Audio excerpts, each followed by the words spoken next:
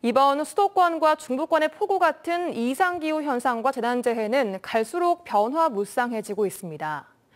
안전사고에 취약한 우리 아이들을 위해 학교 단위의 재난재해 대응 체계를 촘촘하게 손보아야 한다는 목소리가 나오고 있습니다. 박종호 기자가 취재했습니다. 유독 국지성 호우가 찾았던 지난 2020년 여름 목포의 한 학교 앞은 물바다가 됐습니다. 학교 측의 재해 대응 조치는 등교 시간 조정뿐이었습니다.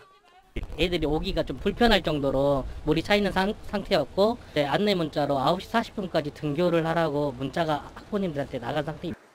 현행 교육당국의 재난 대응 판단은 학교장에게 맡겨진 상태. 예측하기 어려운 각종 재해 상황 속에서 우리 아이들의 안전 확보를 위한 매뉴얼 재조정이 필요합니다. 호우 태풍 경보 때는 등하교 시간 조정과 휴업을 검토하고 250mm 이상의 비 예보가 있을 때는 휴업을 검토하라는 지침이 있습니다. 하지만 최근 중부 지역에 100년 빈도의 큰 비가 갑작스레 쏟아져 내리는 등 더 변화무쌍해지는 재해에 대응해 더욱 촘촘한 대비책이 있어야 합니다. 그러면 우리가 기존에 가지고 있던 매뉴얼대로 대응을 했을 때는 우리 아이들이 제대로 신속하게 대응할 수 없다는 그런 걱정거리가 있는 것이죠.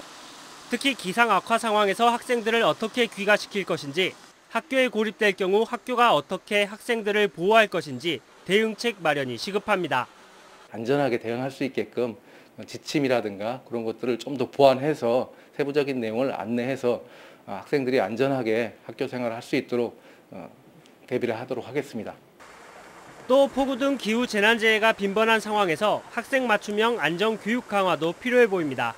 MBC 뉴스 박종호입니다.